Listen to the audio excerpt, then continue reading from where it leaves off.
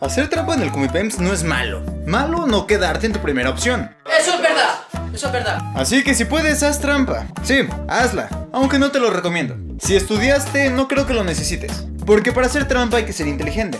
Y estos consejos que te puedo llegar a dar y que no sé si son consejos o son malos hábitos, son para que los uses en dado caso de que no entiendas una pregunta, máximo dos. Así que, bajo tu responsabilidad, tomas estos consejos como a ti se te pega la gana. Porque yo ya te dije, no te recomiendo que hagas. Así que este es más un video de, no deberías hacer esto. Ven, así que vamos allá. En primera, no te recomiendo hacer trampa. Te pueden cancelar el examen. Y la mejor opción para no hacer trampa es que hayas estudiado. Pero sabemos que si estás viendo este video no estudiaste, güey. Atrapada. No, no estudiaste. Aunque realmente es importante que hagas trampa de manera codazo.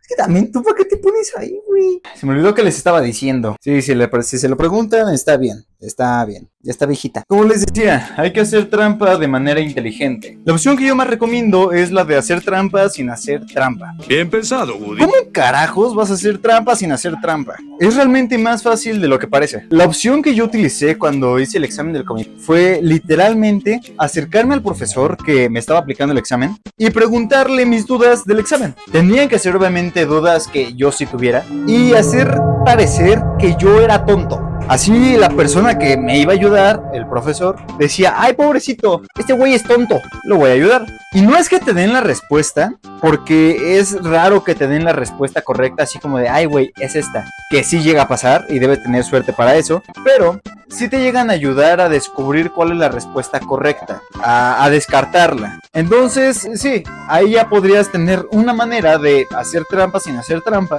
y que te den mínimo una respuesta de 128. Una cosa que sí no te recomiendo así nada, nada, nada, nadota hacer es copiar. En verdad, copiar es algo que no te recomiendo, pero para nada. Porque por si no lo sabías, eh, el Comics tiene varios exámenes, tiene varias versiones. Entonces, eh, se supone que te acomodan dentro del salón para que estés enfrente y a los lados y atrás de personas que tengan un examen diferente al tuyo. Y de esta manera evitan copiar. Entonces, si de repente dices, güey, el de adelante se ve que le sabe, le va a copiar, seguramente te va a salir mal. Entonces, recuerda y repite conmigo. No hay que copiar. ¿Por qué? Porque si copio, no solamente me pueden cachar, me pueden anul- anular el examen y además no serviría de nada porque tus respuestas estarían mal. Aunque realmente otra opción es sacar el teléfono. Utilizar tu teléfono para contestar el examen podría ser una opción. Es complicado, probablemente te cachen y probablemente te anulen el examen, pero no deja de ser una opción. Nada más que sí tienes que ser demasiado, demasiado hábil para que nadie te cache, para que no vean que sacaste el teléfono. Básicamente te estarías entrenando para ser un tipo, iba a decir yakuza, pero no, eso es otra cosa. Bueno, el caso, a un maleante, pero uno chiquito. Pasó un niño y se me quedó viendo raro. Seguramente ya vio que estoy gordo. Entonces, ya que dejamos claro que copiar no es una buena idea, quiero que sepas que todas las formas en las que se te ocurran que podrías copiar, todas, absolutamente todas, son una mala idea. En general, no deberías hacer trampa. En verdad, solo pones en riesgo la oportunidad que tienes de entrar a una prepa. Si no estudiaste o sientes que no hiciste lo suficiente para poder quedarte en tu primera opción, confórmate con el lugar en el que te quedes. En verdad,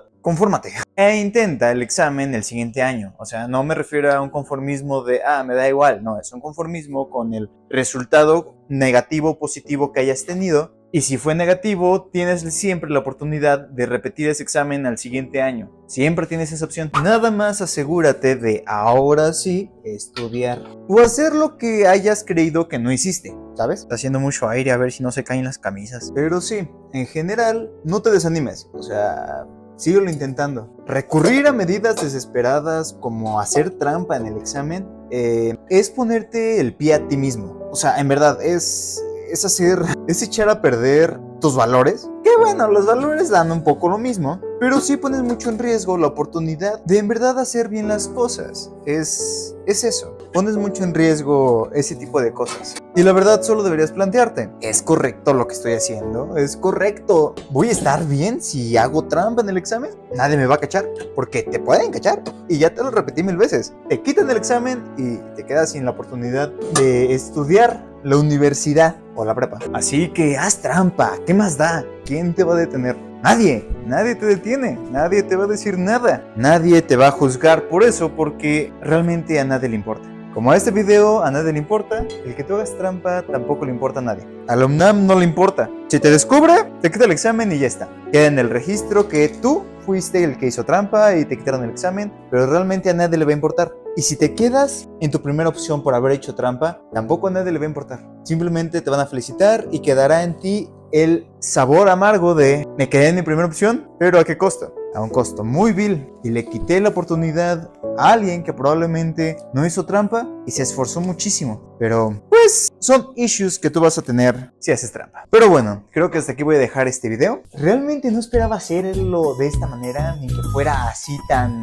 tan así como fue. Pero bueno, esas son las consecuencias de haber acabado la universidad y no tener chamba y tus papás no te quieren haciendo nada en la casa. Así que, mira, felicidades, me convertí en el chacho de la casa. Triste. Así que, spoiler, estoy haciendo tiempo, entre comillas, estoy haciendo tiempo para que dure el video 8 minutos. En los próximos días, espero, hacer más videos tipo vlogs en los que planeo mostrar cómo consigo chamba, cómo busco chamba y qué voy a hacer para chambear. Porque resulta y acontece es importante que yo chambee. Y con esto quiero demostrar que no por tener una carrera significa que vas a lograr tener trabajo rápido. Y eso es para los padres de familia que creen eso. Los que estudiamos la universidad lo sabemos. Es como muy claro. Pasamos de universitarios a desempleados, así. Pero bueno, creo que es hora de decirles adiós. Ya lo dije. Chaito. El video dura 6 minutos con 52 segundos, lo que significa que me hace falta tiempo para llegar a los 8 minutos. No es una regla, no necesariamente tengo que llegar a los 8 minutos, simplemente yo quiero llegar a los 8 minutos. Así que les voy a mostrar a Juan Alberto Crustáceo Pérez Estrada eh, Michelin, alias el Glue. ¿Qué es mi pez? Es un pez beta, está chiquito. Se llama Juan Alberto. Realmente se llama como se me da la gana llamarlo en el momento. No tiene nombre, tiene mil nombres. O sea, es el mil es el mil identidades. Pero sí, él es Juan Alberto. Kojiji, nada, nada, tú muy bien, Juan Alberto, mira, posando, hermoso, precioso, qué galante, qué hermoso, qué hermosura de pescadillo, mira qué bonito, qué bonito está. Y además su colita se le está poniendo de color azul, o sea, antes era como negra y ahora es de color azul y le gusta platicar conmigo, o sea, generalmente platica conmigo, chismea, me da ideas para los videos. Su agua está turbia, la enturbece muy rápido, tiene apenas una semana y media con esa agua y ya la tiene tiene turbia. ¿Ve Juan Alberto que te gusta enturbiar tu agüita?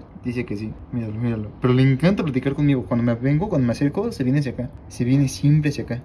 Lo tengo ahorita sobre una de estas. Porque no tengo otra cosa en donde echarlo. Y también tengo una planta de color morada. Esa está hermosa. O sea, es, tiene pelos de color morado. Y también tengo un viejillo.